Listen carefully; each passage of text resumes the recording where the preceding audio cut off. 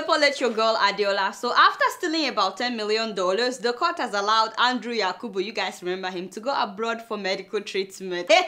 Sure, you see what I'm seeing? Are you seeing what I'm seeing? Oh, by the way, by the way, I really don't need to do a show this week. After that powerful message by Aisha Yesufu. Things are stagnating in Nigeria.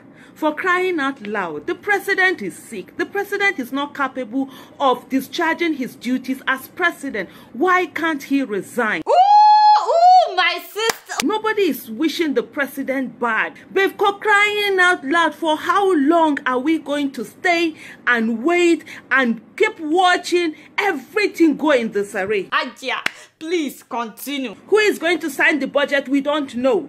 The report on Babachir, what's happening to it? Why are we being held to ransom? Thank you, my sister. The vice president was ready to sign the budget, but can you believe that they didn't let him sign the budget? They said that they have to take the budget to Buhari in London on his sick bed to sign. I mean, come on. President Muhammadu Buhari for crying out loud. You have been president twice. You have reached the peak of your career. Can you allow each and every one of us, 140 million Nigeria, is it 170 or whatever number we are, be able to have the opportunity to equally reach the peak of our careers? Tell him, my sister, I beg you. Can you just take some time off? Take care of yourself. May God give you good health. But please, Mr. President, do not allow this keep the rest of us in bondage. Thank you very much. This is what we've all been saying that the president right now needs to focus on his health. Oga Buhari, you're welcome to this program. You know I'm the only one that will tell you the truth. Let me look at the camera in case you're watching. You know, Nigerians have been talking. They are saying that your health is more important. Being a president is not by force. Why not step down and take a whole year, you know, to rest and relax and recuperate? In fact, the whole world will respect you for that. You can live longer for your wife, for your children. You need to take care of yourself, well, Mr. President. You know, you've been president twice, twice. And I agree, I concur. And if you will not listen to us, Mr. President, then let the vice president do his job successfully without hindrance. Right now, the vice president is being hindered by the cabal, so he's not able to function well because the first time you left the country, Oga Buhari, the vice president did wonders. All of a sudden, these people are afraid that the vice president is outshining the president. So people have been saying, people are saying that the cabal are restricting the vice president. And you know what? Things are crumbling in Nigeria. I mean, they just announced that they are closing down five Nigerian embassies. I'm like, five embassies, the giants of Africa? What is the meaning of that? That means more people just lost their jobs, no so. And every day we're hearing about military planning a coup. In fact, they've been confiscating containers of weapons in Nigeria. Are we going to wait for everything to fall apart, Mr. President, before you would do the right thing? And you have to put the interest of the nation first. If you are no longer able to do the job for which you were elected, just be honest with us. Tell us, you know what, I've tried. Instead of you just going to spend months in London every day, you will say, oh, you are getting better, you're coming back. So you need to be honest with us. Kuku face your health or let Osinbajo do his job successfully when you are not around. Despite that, the man is trying his best. Or did you not see him at a Garki market the other day? Talking to traders, asking them about the recession. At least the man is listening to the people. Even the fish seller has access to the vice president. Benny.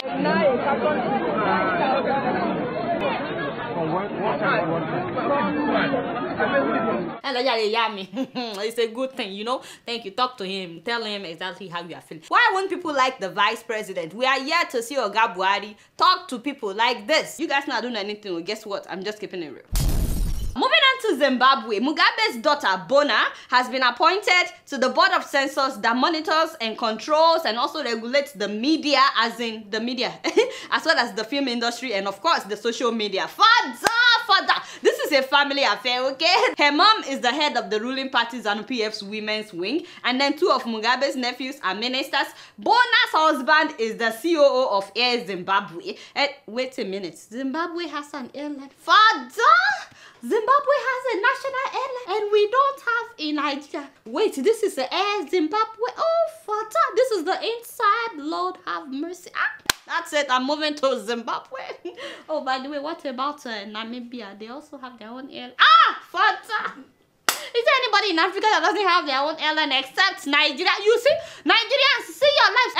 Let me see inside. Ah, for that, this is inside Namibian airline. Namibia is where we are going after this show. Let's just move to Namibia. Back to our story. Zimbabweans believe that with the daughter in charge of censoring the media, the goal is to censor whatever reports will be published about Mugabe as well as whatever people will put on social media. Just imagine if Buhari's daughter is the one censoring the media in Nigeria. Ooh! I trust Nigerians. No, that will never happen.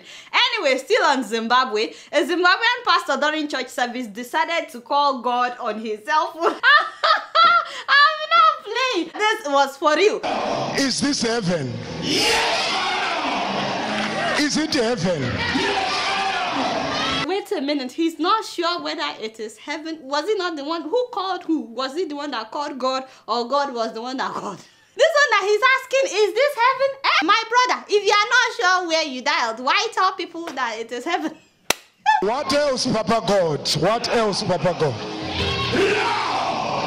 You know what would have been nice? At that particular moment that he's making that fake call, if his phone would ring. I mean, just imagine how that would look like. I have a woman here. What do you have to say about her? That's it, I'm done. I should ask her who is Sibo. Sibo. Who is Sibo? Oh. My Zimbabwean people, why? why now? Did you see his church members jumping? Ah. ah. Oh, Father. All right. Heaven is online. Baba God, I beg, no vex. Eh, No, ah, ah, no vex.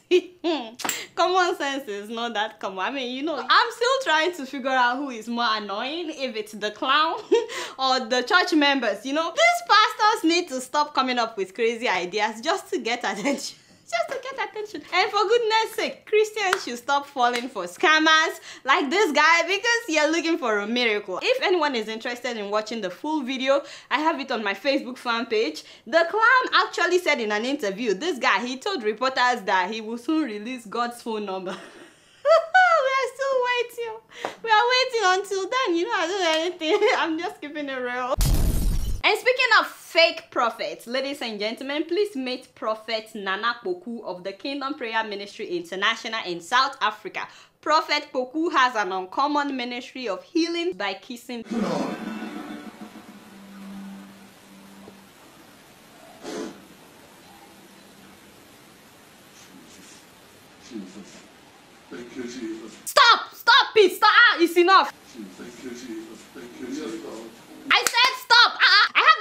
Watching this program. Yes, Lord. Yes, Lord. Where are you run? Come! You are a sinner. Ah, I don't know what to say. I don't know what to. This is just bad in every way. There's no way you can look at this that is not bad. Eh? How dare you kiss somebody without their consent? Eh? This is not your wife. And can you guys hear church members saying, Thank you, Jesus? Thank you, Jesus. Yes, Lord. Oh my god. You I didn't ask you to play it. They had it the first time. It wasn't even like and my, my you know that was not even pecking. That was a long kiss. Why? Eh? Oh by the way, if it's an elderly woman, he won't kiss them. He will only sit on them.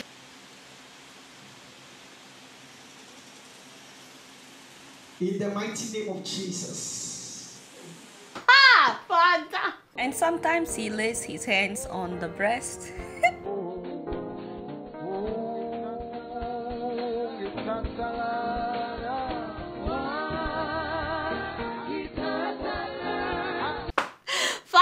Heaven, one more time, no vex. no vex.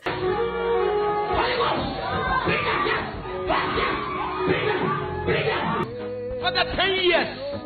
My Ghanaian people, you need to talk to your son. Your son. Wait, you think the man of God is bleaching? I don't think so.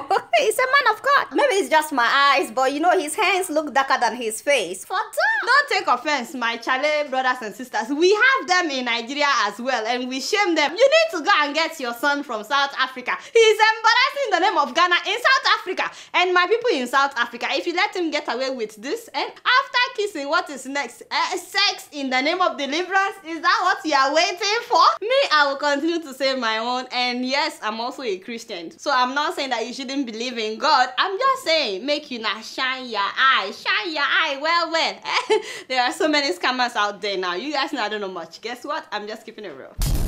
Moving on to Ethiopia, another activist has been sentenced to six years in prison for a Facebook post. We're talking about Jonathan Tesfaye. He was arrested in December of 2015 and he's now been pronounced guilty of encouraging terrorism all because he wrote on Facebook in 2015 that the government of Ethiopia used force against protesters. I mean, that makes no sense because everybody knows that the government has been using force against protesters. He didn't lie. Now, the sad thing is that the whole world is acting as if they don't know what's happening in Ethiopia. As a matter of fact, guess who the new Director General of the World Health Organization is? Dr. Tedros Adhanom. That was Ethiopia's Minister of Health from 2005 to 2012 and also the Minister of Foreign Affairs from 2012 to 2016. He was also the chair of the Board of Global Funds to fight AIDS, tuberculosis, and malaria. Very impressive, right? Except you can't help but wonder why, for several months, Ethiopians protested against his candidacy. I mean, why won't his own people want him as the Director General of the World Health Organization? I found out that when he was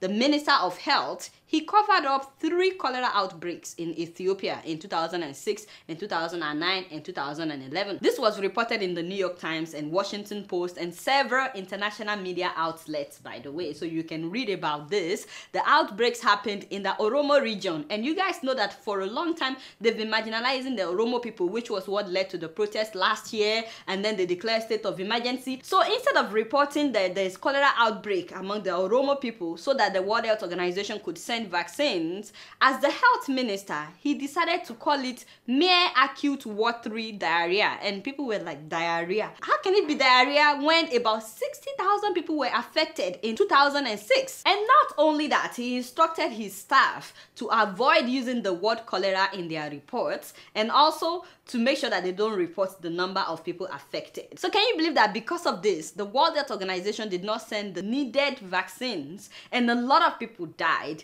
More than 60,000 people were affected in 2006 and by February of 2007, more than 680 people had been reported dead. Although many people believe that it's much more than that. I mean, look at this headline on NBC, NBC News, and this was in 2007. They said hundreds died in suspected cholera outbreak. Ethiopia downplays but UN experts say it's an epidemic. Now, this was 2007. I don't see why the media will make up this story about him 10 years ago when he wasn't even running for the World Health Organization director. And NBC was not the only one that reported. Several media outlets reported it at that time. The World Health Organization told him to do proper tests so that they would know if it's cholera or just diarrhea like he claimed. But he insisted that the outbreaks were in the remote places where there are no labs for tests. And then in 2009, the same thing. 18,000 people were affected. He insisted it's diarrhea. He only reported 34 deaths in 2009. And again, people believe that more people had died. And then when the outbreak happened in 2011, this same World Health Organization reported that 5 million Ethiopians were at risk. The World Health Organization knows about all these things.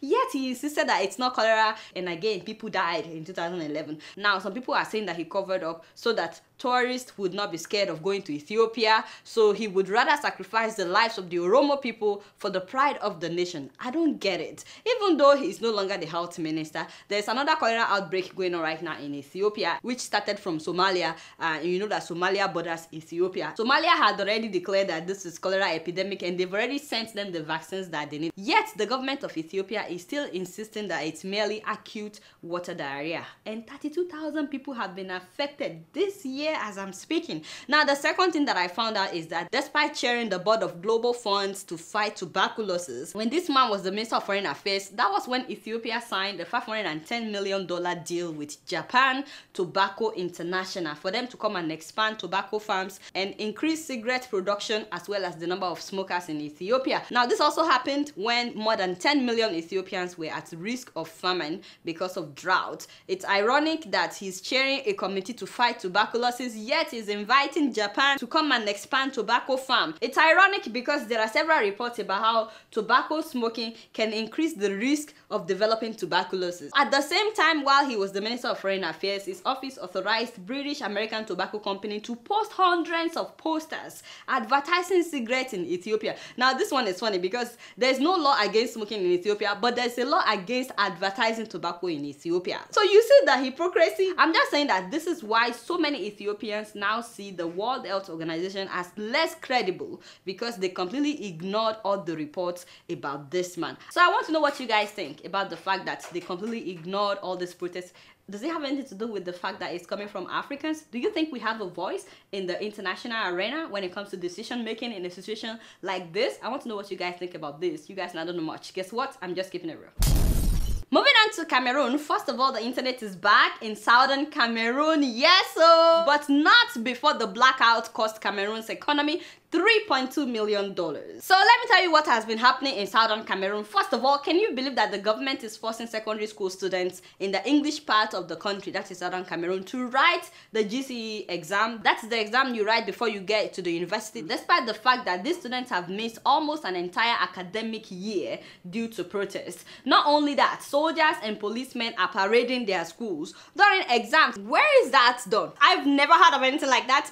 Now, out of 180,000 students expected to write this year's GCE exam, only 40,000 registered, and more than 70% of them are from the Francophone region of the country. Now, the Minister of Secondary School said that, well, they must have been studying at home, so they must write this exam by fire by force. So he instructed the GCE registrar to create special centers for those that did not register for the exam. Listen to what uh, a Cameroonian friend who is a lawyer, this is what he said. This is a calculated attempt by the French government to reduce the value of the most prestigious English exams in the country and replace it with French exams called BACC. Wow, my people in Cameroon, I like to hear from you about this. And still on Cameroon, a lawyer is now facing death penalty for organizing a protest. A protest. Nkongho, Felix Agbor Balla has been detained since January. They charge this man with treason, with terrorism, with everything. Eight counts. And um, can you believe that the government is saying that he will be tried in a military tribunal? This guy was arrested from the English-speaking part of the country. They took him to the French-speaking part of the country, and now they are saying that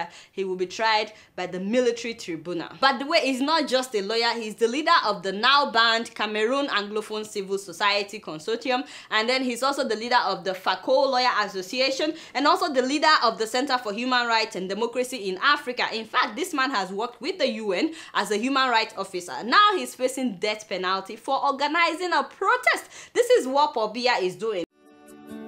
Welcome to Forestville Luxury Hotel. At Forestville Luxury Hotel, we offer excellent service. Our rooms have all the necessary facilities to make your stay comfortable and memorable. You will also have access to internet service, breakfast, 24-hour power supply, full air condition, free international calls, free tire pumping service, and free car battery charge. So what are you waiting for? Quickly visit Forestville Luxury Hotel. We are located at number one Adeline Mishile off Raji Rasaki Road, First Estate, Amuwo, Odofin First Lagos. For more information or reservation, please call us on 080 75 78 7135 or 080 99 90 0601. You can also take advantage of our online ongoing promo at www.4zhotel.com to make your reservation and payment for your favorite room, which attracts a discount rate. Please note, rooms are reserved based on first come, first serve. 4Z Lovey Hotel. Experience the home of comfort. They come, oh. they come. Oh.